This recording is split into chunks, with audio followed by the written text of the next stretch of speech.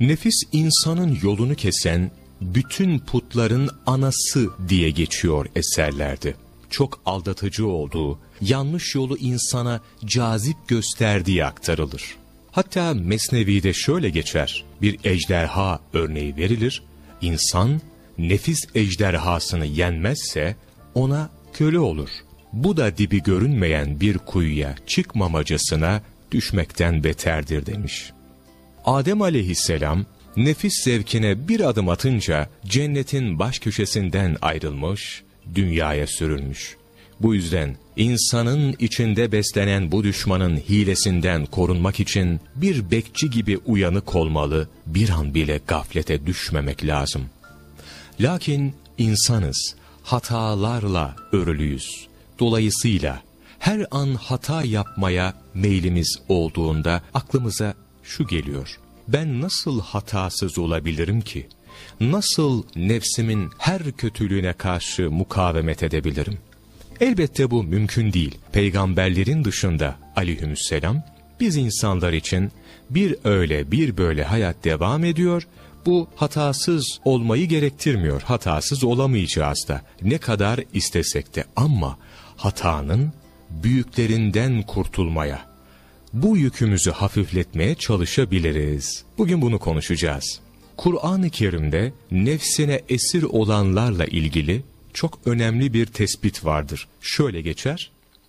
İşte bunlar hayvanlar gibi hatta daha da aşağıdadırlar. İşte bunlar gafillerin ta kendileridir. Araf suresinde bu tanımlama var. Kimler için? Nefsinin esiri olmuşlar için. Lakin burada biraz tefekkür edelim. Allahu Teala kendisine halife tayin ederek yarattı insanları. Kainatın göz bebeği olarak taltif edildi. Acaba neden hayvandan daha aşağı oluyor değil mi? Neden? Nefsini terbiye ederse, kendini temize çıkarmaya çalışırsa ve yalnızca Allah'a kul olduğu takdirde meleklerden üstün olma fırsatı da var. Aynı zamanda bu bir kazançtır. Lakin ayette belirtildiği gibi kötü olmaya çalışırsa, nefsiyle mücadele etmeden, nefsinin her istediğini yapmaya çalışırsa kanun tanımam, yasa tanımam, herhangi bir şart, hukuk tanımam derse ceza alır. İşte o zaman da hayvanlardan daha aşağıda olabiliyor. Değerli dinleyenlerim, o yüzden insanın kendisine kötü huylara ve dünyevi arzulara çeken o nefsini ıslah etmesi, ıslah etmek ne demek? Temizlemek, kontrol etmek gerekiyor, hilelerinden korunmak ve daima aklını kullanmasını tavsiye ediyor eserlerde. Peki bu nasıl yapılır? Aslında birçok eserde gördüm, onlardan bazı örnekler aktaracağım birazdan. Bir beyin ameliyatına benzetiliyor nefis terbiyesi. Bugün ruh sağlığı ile ilgili çokça sorunlar yaşanıyor. Tonlarca ilaçlar kullanılıyor değil mi? Bununla ilgili olan mütehassıslar da var. Burada dikkat etmemiz gereken bir şey var. Bundan 300 yıl önce, bundan 1000 yıl önce, bundan 1500 yıl önce ve öncesi. Şimdiki bilgilerin kullanılmadığını, olmadığını biliyoruz. Peki o zaman ruh sağlığı dediğimiz şey nasıldı? İnsanların sıkıldığı, bunaldığı zamanlar olmadı mı? İnsanların cinnet getirdiği zamanlar. Efendim, kendi hal ve hareketine hiçbir şekilde mukavemet edemediği zamanlar olmadı mı? Oldu. İnsanlar katliam yapmadılar mı? Yaptılar. Hatta Adem aleyhisselamın oğlu bunu yaptı. Demek ki bugün yani 30 yıl, 40 yıl, 100 yıl içinde konuşulan bir mevzu değil insanın ruh sağlığı. Bugün konuşulan mevzu sizlerle paylaştığım olay o kadar önemli ki aslında ruh sağlığının da içerisinde yer aldığı bir konudur. Korkular yine bunun içerisinde, evhamlar bunun içerisinde, kin nefret bunun içerisinde, güzel hasletler de bunun içerisinde. O yüzden bu nefis denen putu ele geçirmek, onu kontrol altında tutmak gerekmekte. Yani şöyle diyelim, nefis şeytanın yardımcısı, insanın en yakınında bulunan aslında en büyük düşmanı. Derler ya sen düşmanı orada burada arama, acaba hangi dağın arkasından düşman gelecek diye bekleme. Düşman senin içinde. Gerçekten de öyle. Eğri otur, doğru konuş derler. Şimdi öz eleştiri yapalım kendi nefsimizle. Cidden yaptığımız hareketler, kullandığımız efendim cümleler, hal ve hareketlerimiz ve içimizden geçenler hepsi mi iyi? Hiç mi zararlı şeyler konuşmuyoruz, izlemiyoruz, düşünmüyoruz, değil mi? Aklımızdan geçmiyor en hafif ibareyle. Demek ki bizde de bununla ilgili düzeltmemiz gereken bir şeyler var. Uzun zamandır duyuyorum kalbim temiz diyen kardeşlerimizi, efendim nefsini temize çıkarmak isteyenleri, bu konuda benim hatam yok, bu konuda işte şu yanlış yaptı, bunun yüzünden böyle oldu diyenleri görüyoruz. Sürekli farkındaysanız nefsimizi temize çıkarma derdimiz var. Lakin şeytan en önemli yardımcısını bizden aldı. Yani nefsimizden aldı. Peki bizim ona karşı savunma mekanizmamız nasıl olacak? Akıllı olacak. Akıl ve nefis birbirinden o kadar zıt ki. Nefis yalnızca onu isterim, bunu isterim diye isteklerin peşinde koşar. Ama akıl öyle değildir. Her işin sonunu düşünür. Acaba bu yolun sonunda ne var? Değil mi? İyi ve kötü. Bunu birbirinden ayırmaya akıl yardım eder. Nefis kötü olan her şeyi ister. En kısa tabirle nefis nedir, ne ister diye bir soru sorulsa galiba verilecek cevapların başında bu geliyor. Kötü olan bizim hem dünyamıza ve ahiretimize yaramayacak her şey nefsin isteği oluyor. Mesnevi'de Mevlana Kuddesi Sirruhu hikayeler anlatır bildiğiniz gibi. Bu hikayeler masal kabiliğinden değildir. Bir konunun iyi anlatılması veya anlaşılması içindir. Birçok hikayesi var Mesnevi'de, uyanık olmak lazım diyor. Neye karşı? Nefsin hilelerine karşı. Bununla ilgili size kısa bir hikaye paylaşayım Mesnevi'den. Musa aleyhisselamı anlatıyor. Rüyasında saltanatını yıkacak bir peygamberin dünyaya geleceğini gören Firavun bazı tedbirler alır. Önce bütün eşleri birbirinden ayırarak beklenen peygamberin doğmasını engellemek ister. Daha sonra müneccimlerden bu çocuğun dünyaya geldiğini öğrenince o yıl doğan bütün erkek çocukları öldürtür. Musa aleyhisselamın annesi çocuğunu ölümden korumak için onu beşiğiyle o kocaman Nil nehrine bırakır. Suda sürüklenen beşik Firavun'un sarayı önüne gelir. Firavun'un eşi çocuğun ölümüne mani olur, Allah'ın izniyle onu himayesi altına alır. Böylece Firavun'un bütün tedbirleri boşa gider ve can düşmanı olduğunu bilmeksizin Musa aleyhisselamı evinde büyütmeye başlar. Bunu niye örnek olarak vermiş? Diyor ki Mevlana, insanoğlu da düşmanını hep dışarıda arar, Firavun'un Musa aleyhisselamı dışarıda aradığı gibi, insanoğlu da başka yerlerde arar, suçunu yüklenmek istemez ama en büyük düşmanı içindeki nefsidir diyor. Ve sonra diyor ki, bu da önemli, aşağılık nefs eğer senden yüce bir kazanç dilese bile, bu dilekte de hile ve düzen vardır. Yani nefsin yanlışı doğru gösterme yanında, doğruya yöneldiği zamanda insanı daha büyük bir hayırdan engelleme amacı vardır. Bazen insanın tabi farz namazları kıldıktan sonrasından bahsediyorum, alimin uykusunun cahilin ibadetinden de daha hayırlı olduğu aktarılır. Şimdi nefis öyle ki, diyelim bir kişi namaz kılıyor ama bu namazı namaz kılmak için kılmıyor. Birilerine gösteriş yapmak, belki bir arsa satılacaktır, karşıdaki insan dindar bir insandır. Onun gözüne girmek, kızını almak farklı farklı sebeplerden olabilir. Ama bir insan farz namazlarını kıldı, görevlerini eda etti, uykusu geldi yattı, zaten tesbihini çekerek yattıysa uykuya ne şekilde yattı? Kalktığı zamana kadar aynı şekilde devam etmiş sayılır. Çok önemlidir. Değerli kardeşlerim, nefsin mertebelerini işleyeceğiz şimdi. Nefis terbiyesinde birazdan anlatacağım isimler olacak. En kısa anlamlarıyla bunları paylaşmaya çalışacağım. Konunun iyi anlaşılması için ayrıntılara dalmak isteyenler, okumak isteyenler varsa okuyabilirler. Nefsi emmare, nefsi levvame, nefsi mülhime, nefsi mutmaine, nefsi raziye, nefsi marziye.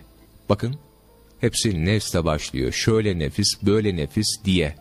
Bunlar çok ayrıntılara girilmeden size aktarılacaktır. Kafa karışmasın diye tekrar ediyorum. Aslında hepsinin ders ders okunması iyidir. Tabi her dinleyicimin de şu anda belli bir birikimde olmadığını bilerek birer cümleyle geçmek istiyorum. Nefsi emmare, en kötü nefisten başlıyoruz. Kötülüğü emreden ve bundan zevk alan nefis sahiplerine verilen isimdir. Her insanın nefsinin durumu farklıdır. Tekrar ediyorum. Peygamberlerin aleyhisselam çok farklıdır. Günah işlemezler ve e, sorumlu da tutulmazlar. Çünkü onlara başka bir ilham verilmiştir, kuvvet verilmiştir. Nefse emmare en kötü nefis çeşididir. Kötülüğü emreder ve sürekli kötülüklerle efendim yoğunlaşır. İkinci sırada nefsi levvame var. Kötülük yapar o da birincisinde olduğu gibi ama bazen pişman olur, af diler. Nefsi levvame. Üçüncüsü nefsi mülhime adı verilir. Yavaş yavaş Allahu Teala'dan ilham almaya başlayan nefistir. Bu vahiy gibi değildir.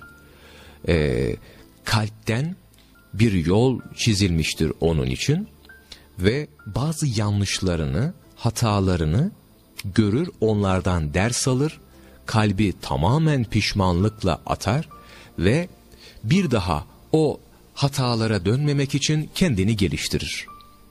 Nefsi mutmain denilen, zaten isim çok kulağa aşikar gelir, mutmain olmuş, tatmin olmuş, efendim şüphelerden arınmış, rahatlamış nefis demektir.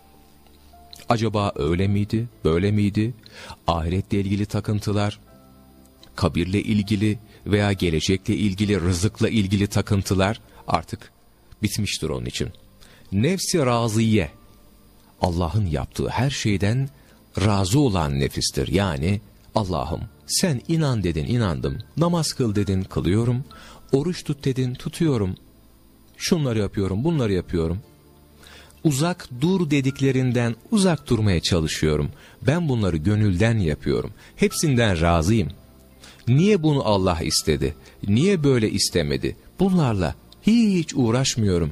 Sana kul olmak ne güzel Rabbim diyen bir nefis. Ve nefsi marziye. Az önce okuduklarım, paylaştıklarım gibi Rabbinden razı olan, onun tüm emir ve nehileri karşısında boynunun kıldan ince olduğunu ifade eden bir kul. Buna bir eklemede bulunalım. Nefsin en seçkin, en temiz hali, son merhalede nefsi kamile. Kamil insan derler ya, kamil iman da derler. Yani pişmiş, tam tavına gelmiş, olgunluğa erişmiş bir nefis. Bu mertebeye efendim yedi kademede erişiliyor. Bunları da sizlerle paylaşmış olduk. Bunlara gidilen yolda en kolay kestirme yol doğru bir itikat ve ilim aldıktan sonra, ilim sahibi olduktan sonra tasavvufa yönelmektir. Nefis terbiyesi dendiği zaman da akla bu gelir. Allahu Teala'dan niyazımız doğru kapılarla bizleri karşılaştırsın, yanlış kapıları yanlış olarak göstersin. Amin. Sizlerle beraber paylaşacağım çok önemli bilgiler var demiştim. Programımızı yeni dinlemeye başlayanlar için birazdan nefsi uyarma, nefsi kınama, ikaz etme bölümlerini İmam Gazali Hazretlerinin İhya-i Ulumiddin eserinin son bölümde yer alan kısımdan okuyacağımızı aktaralım.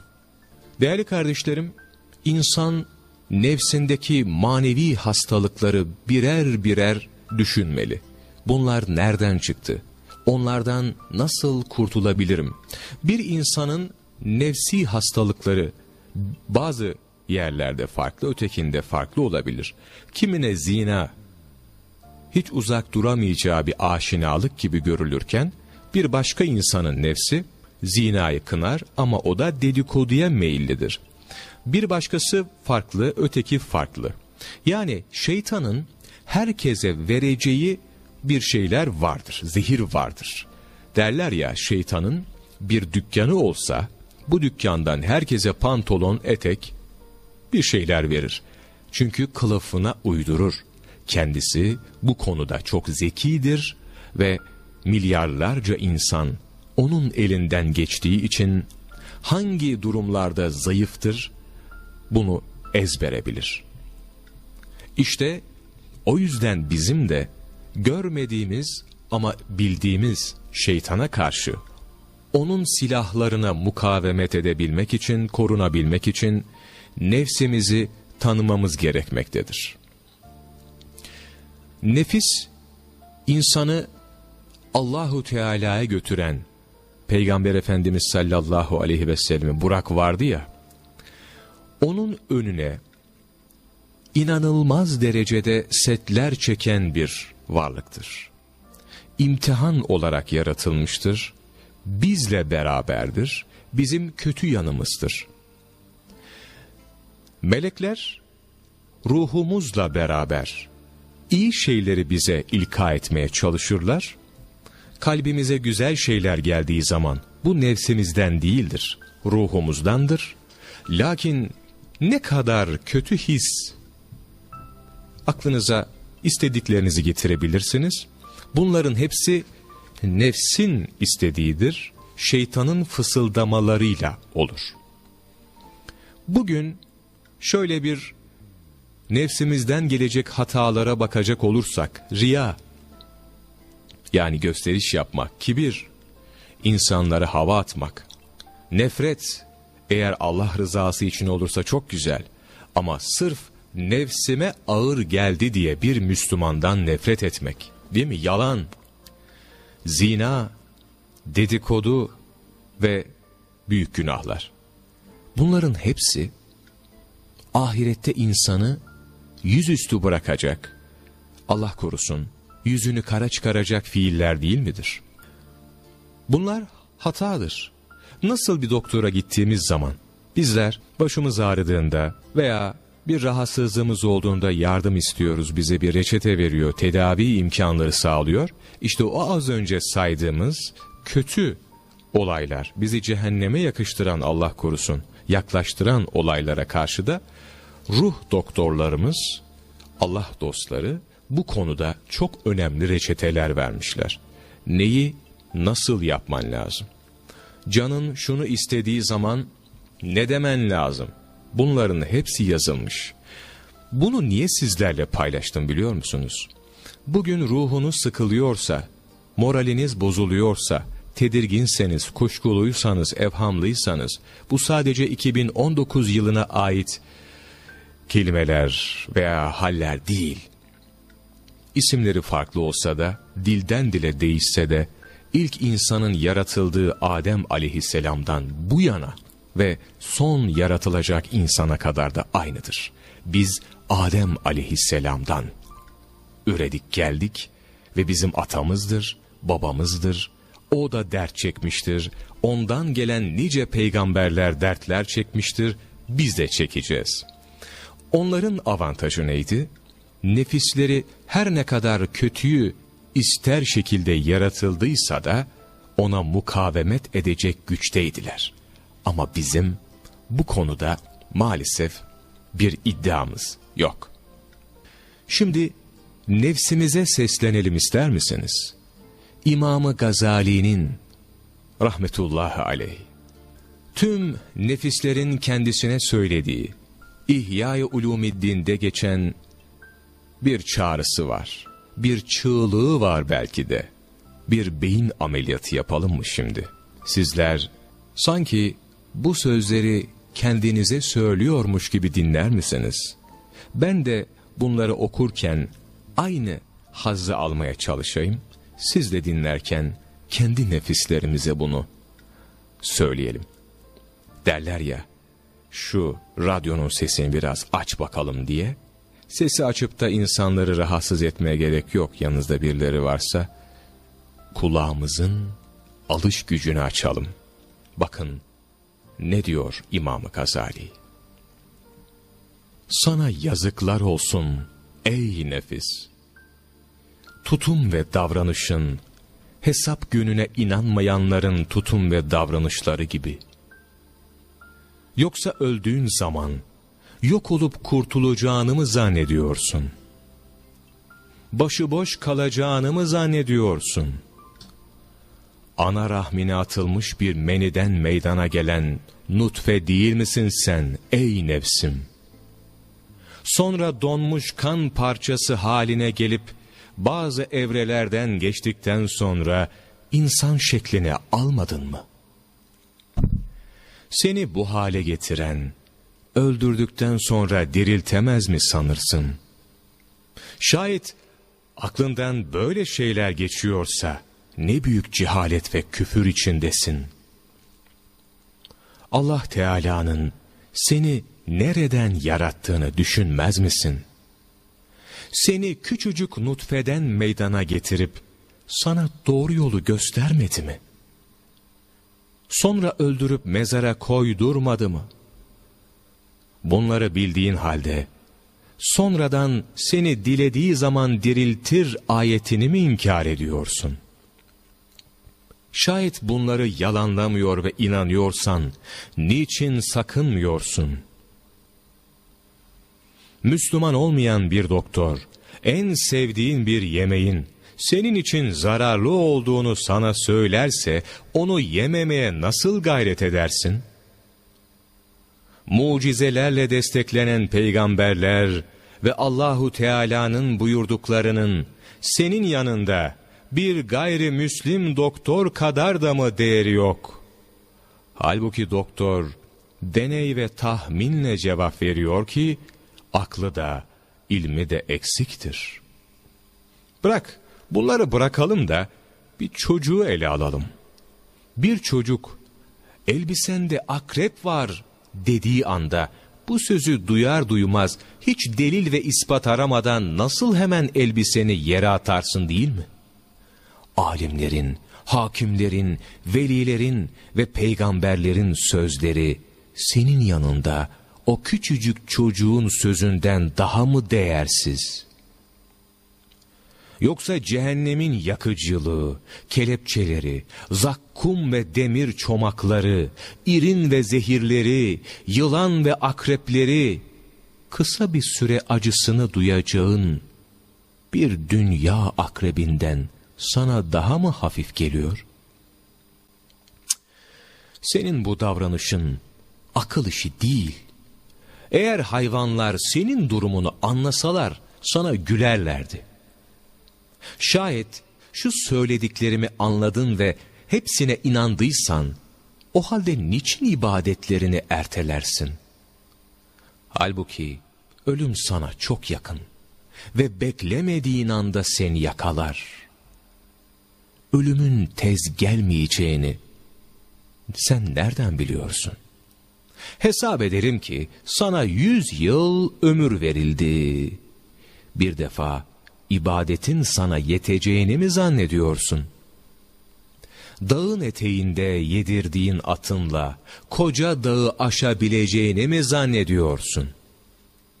Şayet böyle düşünüyorsan ne büyük ahmaksın ilim tahsili için evinden ayrılıp, yıllarca boşa gezdikten sonra memleketine döneceği son yılda okumakla hoca olunabilir mi hiç? Bu görüşte olan adama gülmez misin? Allah'ın keremine dayanarak hoca olunacağını mı sanırsın?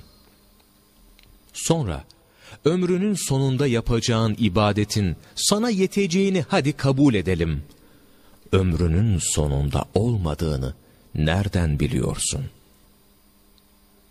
Yarın ölmeyeceğinin garantisi ne? O halde niçin ibadetle meşgul olmuyorsun? Şayet biraz daha yaşayacağının bildirildiğini kabul edelim. Yine niçin ibadetini sonraya bıraktığını senden sorabiliriz. Bunun sebebi ancak ibadetteki o ağırlığa nefsinin izin vermemesi ve bu zahmete katlanmayarak arzularına uyumasıdır. Sen ne zannediyorsun? Acaba nefsin bitmeyen arzularına karşı durmanın kolay olacağı bir gün mü gelecek? Böyle bir günü bekliyorsan aldanırsın. Çünkü Allahu Teala böyle bir gün yaratmamıştır ve yaratmaz. Ey nefsim! Cennet zorluklarla çevrili olup engellerle kuşatıldı. Bunlar hiçbir zaman ve hiç kimse için kolaylaşmaz. Bir düşünsen, kaç yıldan beridir yarın, yarın diye kendini aldattın durdun. Bugün gitti, yarın geldi. Yine eski hesaba kaldın. Halbuki bugünün dünden ve yarının bugünden bir farkı yoktur. Dün aciz olduğun şeyden bugün, bugün aciz olduğun şeydense yarın acizsin yine. Belki daha çok aciz olacaksın. Çünkü arzular köklü bir ağaç gibidirler. Nefsin bitmeyen arzularını söküp atmak için, çalışıp da kuvvetten düştüğü için onu sonraya bırakan, genç ve kuvvetli çağında ağacı kökünden söküp atmak için çalışıp, bunu başaramadığından onu ertesi seneye erteleyen kimse gibidir. Halbuki bir sene sonra kendisi daha da yaşlanıp kuvvetten düşecek, ağacın kökleri daha da kuvvetleşecektir.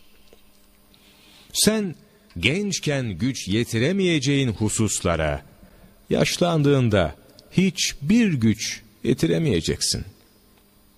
Yaşlılıkta kurdu ehlileştirmeye çalışmak boş zahmetten ibaret. Yaş ve genç ağacın eğilip bükülebileceği, kart ve kuru ağacın eğilmeyi kabul etmeyeceği herkesin bildiği bir gerçektir.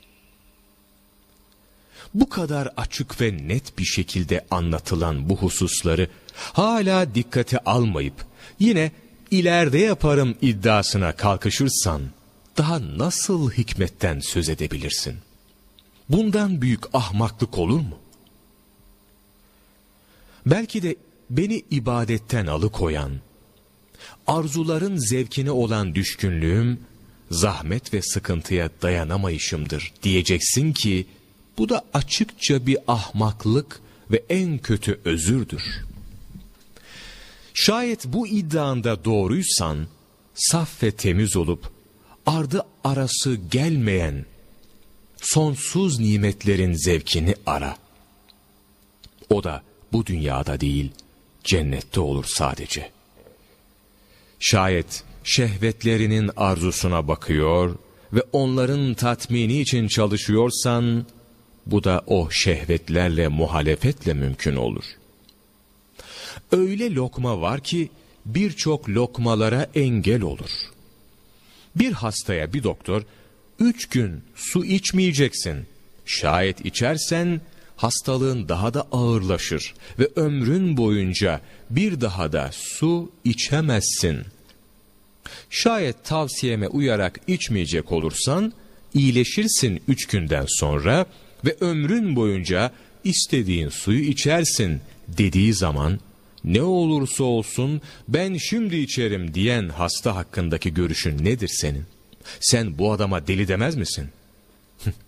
İşte senin ömrünün tümü ebedi olan ahirete nispetle o üç gün gibi de değildir. Acaba üç günlük olan şu fani dünyada şehevi arzuların baskısına sabretmek mi daha zor? Yoksa süresi uçsuz bucaksız, elem ve kederi sonsuz olan cehennem ateşine dayanmak mı daha zor? Dünyadaki üç günlük nefisle savaşma sıkıntısına dayanamayan, acaba ağır ve ebedi olan Allah'ın azabına nasıl dayanacak? Yazıklar olsun sana ey nefis! Şeytana ve dünyaya aldanmak senin için doğru olmaz. Sen herkesten önce kendine bak. Vakitlerini kaybetme. Nefeslerin sayılı. Hastalık gelmeden sağlığını. Yoğunluk gelmeden boş zamanını. Yoksulluk gelmeden varlığını. Yaşlılık gelmeden gençliğini. Ve ölüm gelmeden sağlığını. Hayatı ganimet bil de ahiretteki ebedi hayatını düşün, onun için çalış. Ey nefsim! İnsaf et, insaf. Önümüzdeki kış gelecek diye, onun günlerini hesap ederek, yiyecek, giyecek, yakacak gibi bütün kış hazırlıklarını yapmıyor musun? E, burada niçin keremine bağlanmıyorsun? Yakacak ve giyeceksiz de Allah beni üşütmez. O buna kadirdir demeden her çareye başvuruyorsun. Neden? Acaba cehennem soğuğunun, kışın bu soğuğundan daha az, yoksa süresinin daha kısa olduğunu mu sanıyorsun? yoksa aralarında bir benzerlik bulunduğunu mu zannediyorsun? Yoksa hiç çalışmadan bundan kurtuluş imkanlarının varlığına mı inanıyorsun? Hiç kendini kandırma. Asla, asla hiçbiri öyle değil. Kışın soğuğunu elbise, mesken ve ateşin gidereceği gibi, cehennemin sıcaklık ve soğukluğu da ancak tevhid kalesi ve ibadetle önlenir.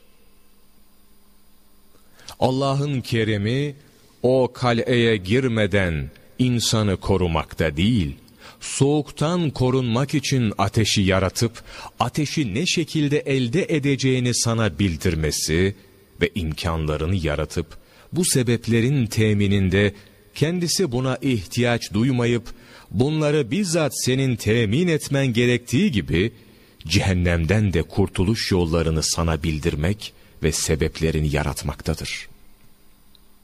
Allahu Teala maddi sebeplere ihtiyacı olmadığı gibi senin itaatine de, senin ibadetine de ihtiyacı yoktur. Bunlar senin kurtuluş yollarındır. İyilik eden kendine, kötülük eden de kendine eder. Allahu Teala'nın şu kainatın hiçbir şeyine ihtiyacı yoktur.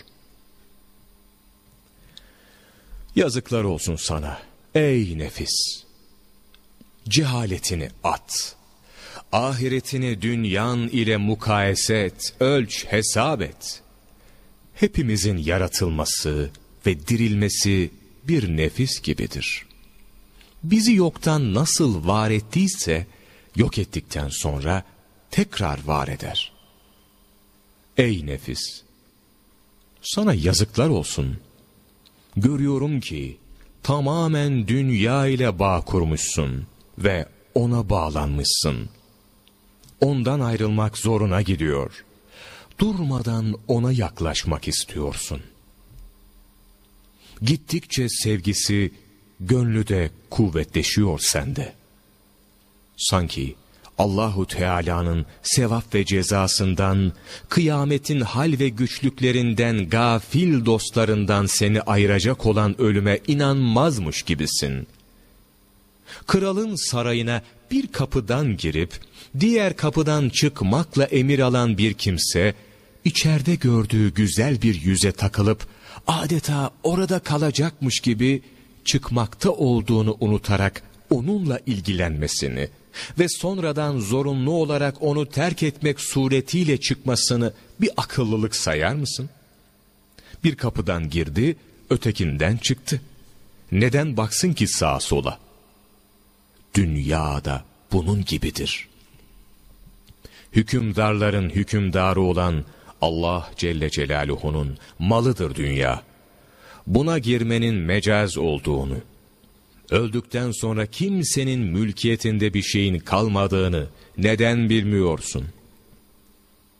Bunun için Efendimiz sallallahu aleyhi ve sellem, Cebrail aleyhisselam, benim kalbime şöyle üfledi, kimi seversen sev, ondan ayrılacaksın.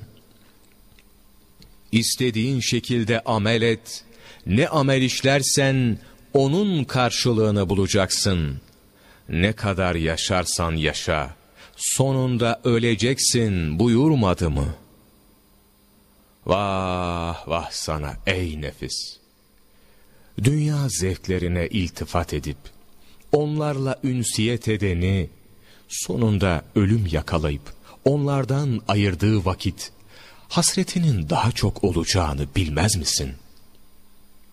Bilmeyerek öldürücü zehiri azı kaldığını düşünmüyor musun? Geçmişlere bir göz gezdirip, yüksek inşaatlar yaptıktan sonra, onları nasıl terk ederek gittiklerini, Allahu Teala'nın servetlerini onların düşmanlarına nasıl verdiğini hiç görmüyor musun?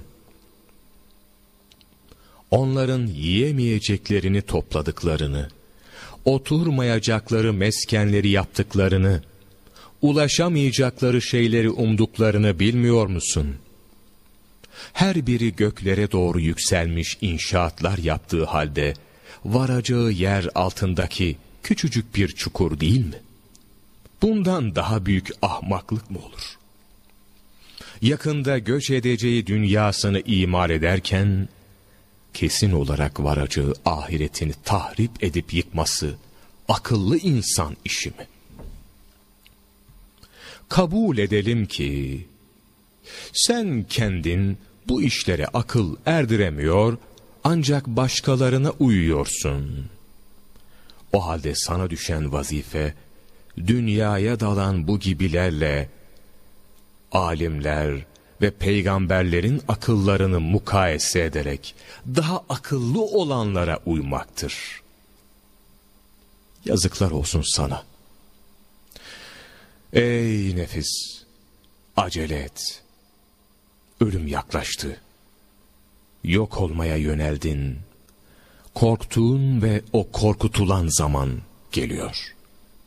Sen öldükten sonra kılmadığın namazları kim kılacak?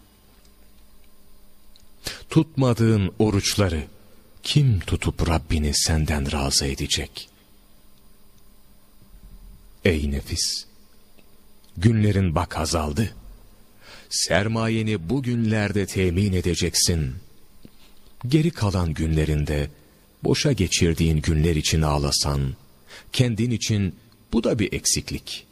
Ya geride kalan günlerini de eskisi gibi kaybeder ve alıştığın gibi hayatına devam edersen bu nasıl olur? Ey nefsim! Ölümün seni beklediğini, varacağın yerin mezar, yatağının toprak, arkadaşlarının kurt ve böcekler olacağını ve büyük mahşer gününün önünde bulunduğunu bilmiyor musun? Ey nefsim! Ölüm askerlerinin kapıda beklemekte olup, seni almadan gitmeyeceklerini düşünmüyor musun? Ey nefis! Ölülerin bir saat olsun bile dünyaya geri dönmeyi temenni ettiklerini, eğer imkanları olsa bir saat geri dönüp hiç olmazsa iman ederek geri dönmeleri için bütün dünyalarını vermeye hazır olduklarını bilmiyor musun? Halbuki onların temenni edip bulamadıkları imkanlar bugün senin elinde. Bak yaşıyorsun, nefes alıyorsun. Sen şu mezarlara baktığın halde ailenden onca toprağa gömdüğün olduğu halde, onca cenaze namazına iştirak ettiğin halde, sen ömrünü nasıl gafletle geçirirsin? Ey nefsim! Sana vay olsun! Dışarıdan insanlara karşı süslenirken, içeriden Allahu Teala ile pazarlığa kalkışırsın. Acaba o ne der, bu ne der diye insanlardan utanırken Allah'tan utanmıyor musun? Yazık sana. Rezaletlerle yorulup dururken insanlara faziletleri nasıl emredersin?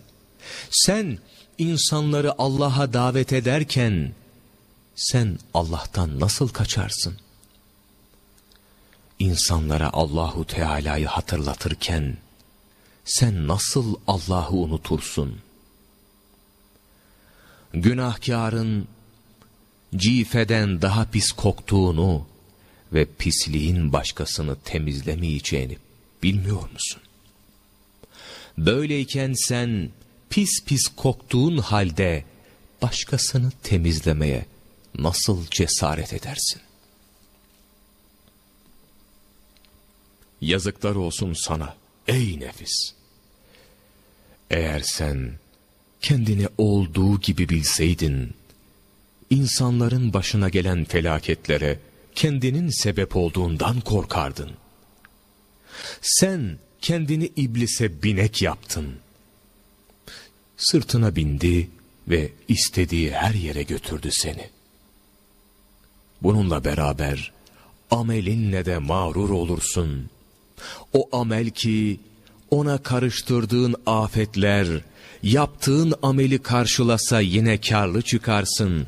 Allahu Teala 200 bin yıllık amelinden sonra bir hatasından sebep iblisi telin etti ve bir günahı sebebiyle Adem aleyhisselamı cennetten çıkardığı halde sen bu kadar çok kusurların ve hataların, günahların karşısında o küçücük amellerinle nasıl havalara girersin? Ey nefsim! Yazıklar olsun sana.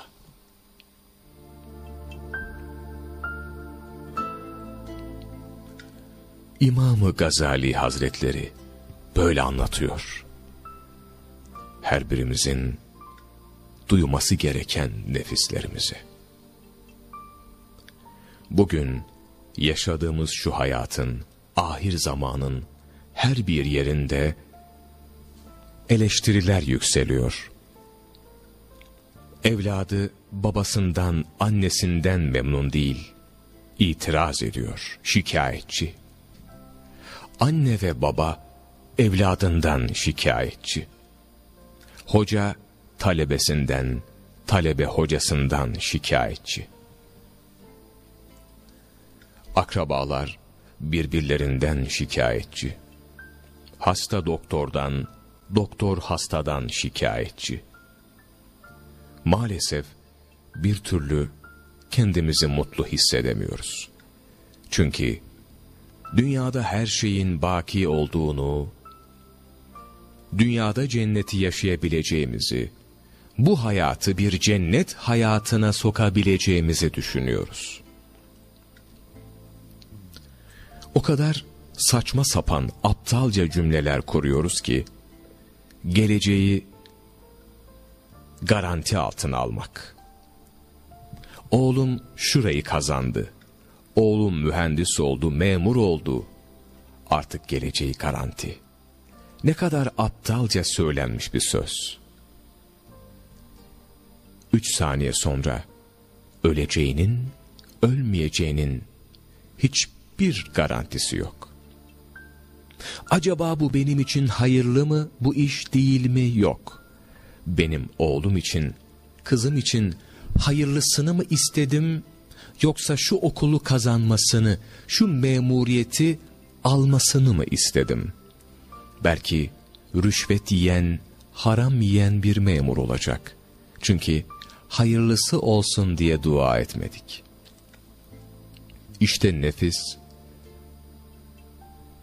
hayatı garanti altına almayı istiyor. Yarın parasız kalabilirsin, bugün şunu al, bunu da yığ, istifle. Sakın paranı, sakın eşyanı, mülkünü birileriyle paylaşma diyor.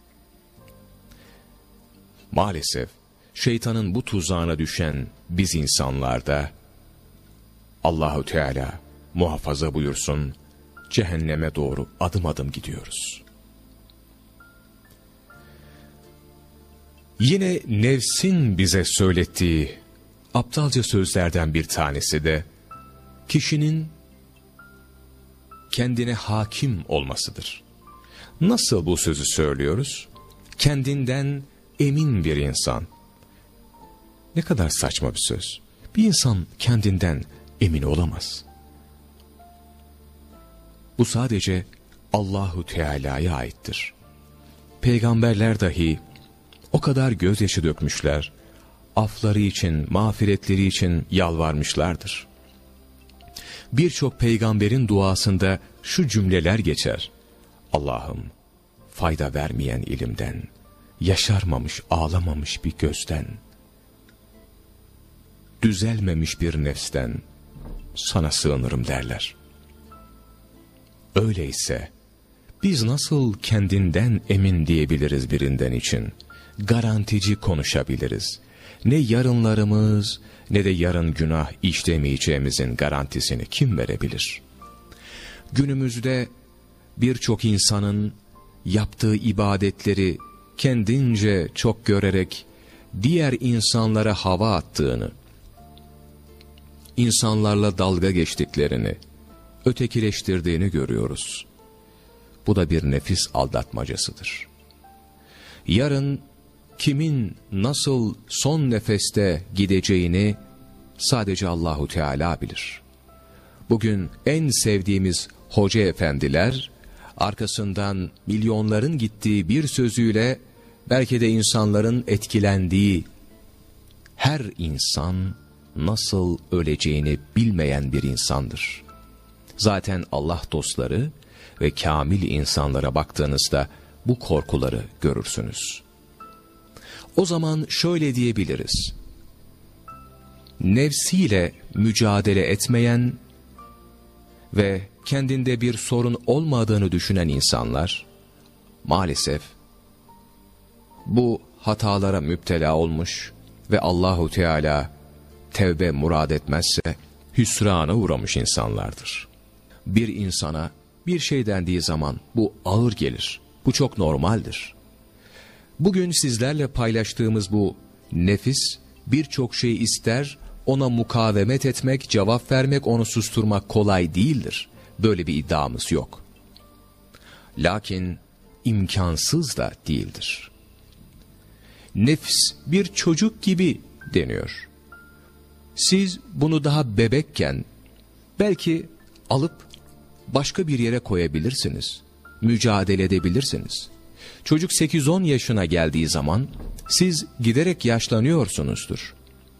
Artık o çocukluktan gençliğe gelip 20'li yaşlarına geldiğinde siz 60'lı yaşlarınıza geldiniz ve artık ona cevap veremediniz. Kendinizi müdafaa dahi edemediniz. İşte nefsi küçük bırakmak gerek diyor Allah dostları. Peki bu nasıl olurmuş? Bir dipnot. Bir şey istediğimiz zaman bunu Rabbim de mi istiyor diye bakmak. Ben bunu niçin istiyorum? Hiç doymayan bir göze sahip miyim acaba? Sürekli bir malzemenin, ev eşyasının, elektronik cihazların daha iyisi, daha kalitelisi bana gösterileni, özendirilenini mi istiyorum? Mesela, çok mu yalan söylüyorum? Çok mu harama bakıyorum? Uyuşturucu kullanmak mı istiyorum? Zina mı yapmak istiyorum? Başkalarının elinde olanın kendi ellerinden alınıp bir Müslüman kardeşimin başına kötü bir şey gelip o elindeki nimetten uzak olmasını istiyorum? Hangi kötü şeyi istiyorsam işte içinde bir şeytan var, bir nefis var demektir. Bunun ispatıdır.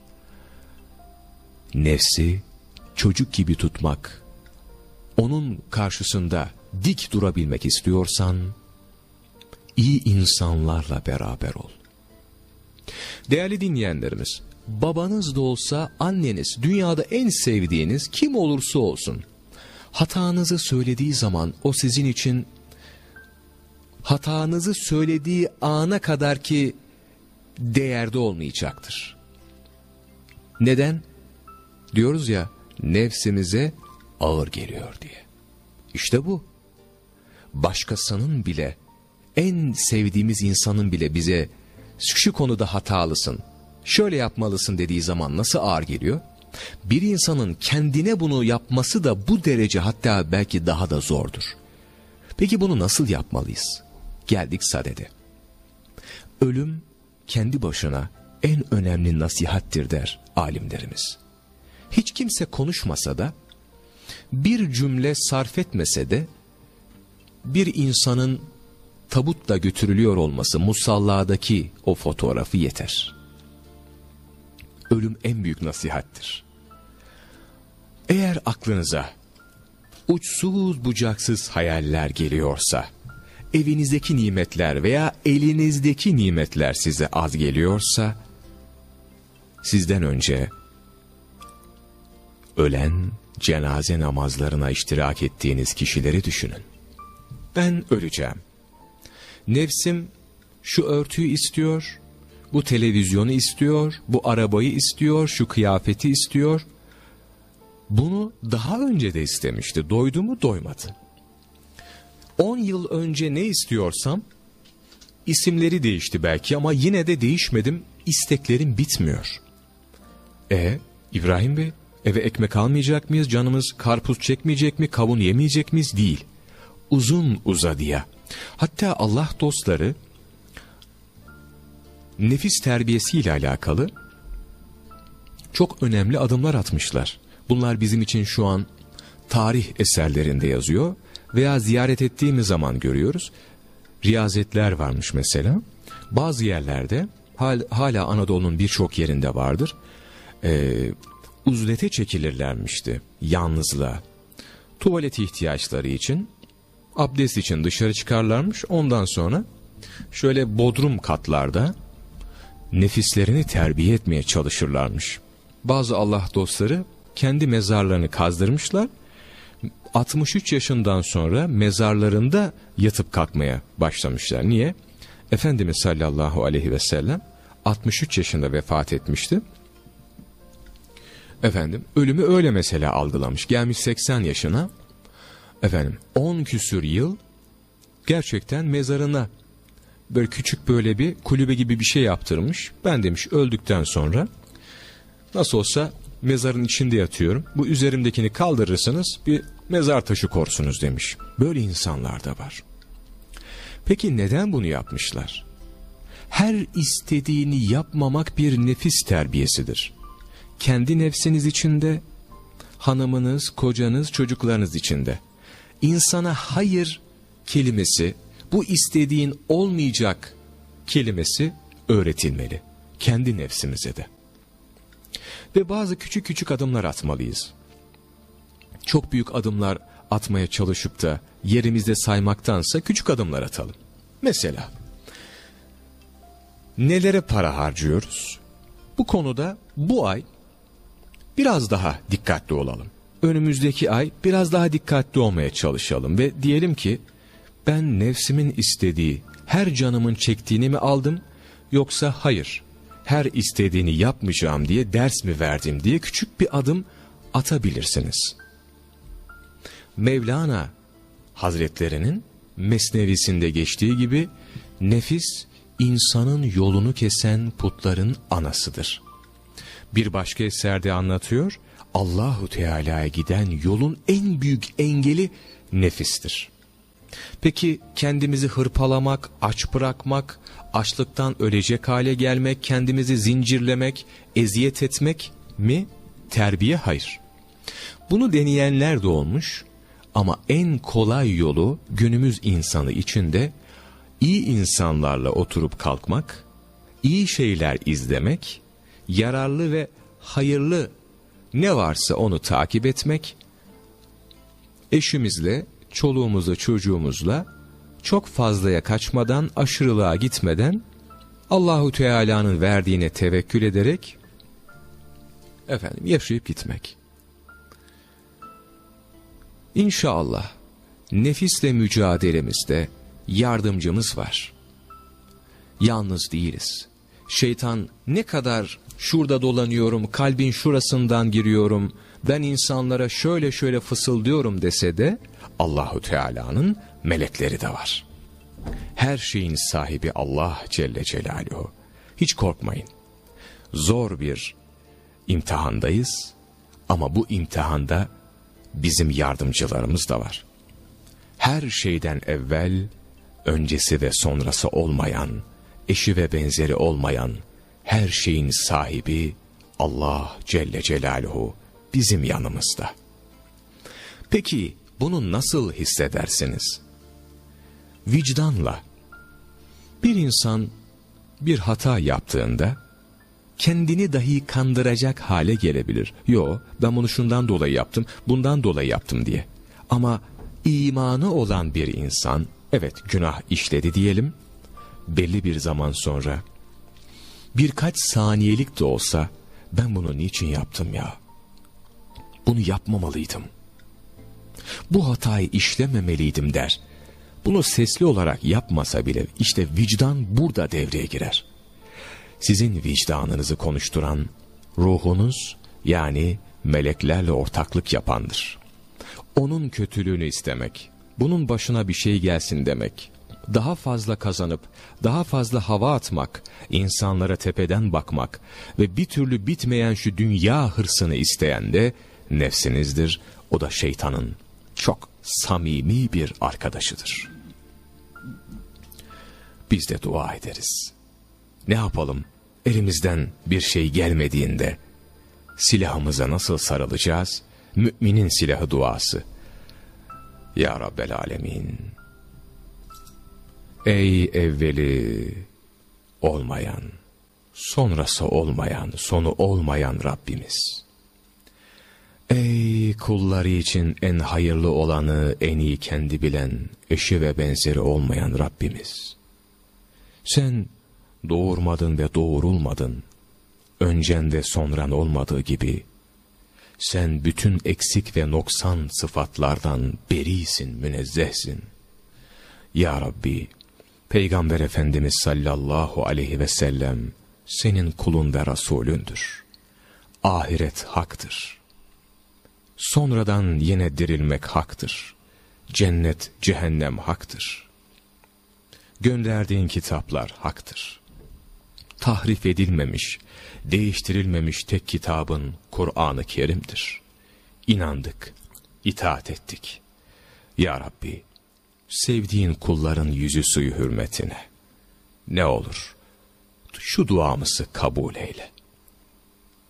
Ya Rabbi, Ya Rabbi, Ya Rabbi. Neyin doğru olduğunu en iyi, şüphesiz bilen sensin.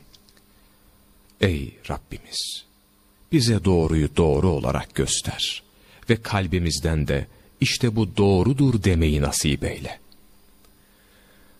Ya Rabbi Celle Celaluhu kötü olan neyse katında bizden yapmamızı istemediğin, nefret ettiğin ne varsa kalbimize de onu ne olur ilham et.